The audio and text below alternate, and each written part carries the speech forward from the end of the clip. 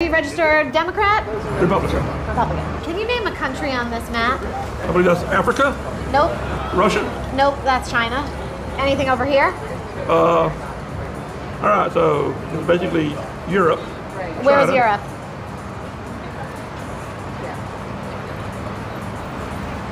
Don't know. Are you a Democrat by chance? I am not. Can you name a country on this map? Asia or Africa? That's a continent. Oh. Okay. Can you Nope. name a country in Africa? No. Do you support the president? Yeah. Can you name a country on this map? Um, How about this? How about this country? Anything here? no. Anything here? No. How about this country? Can you name a country on this map?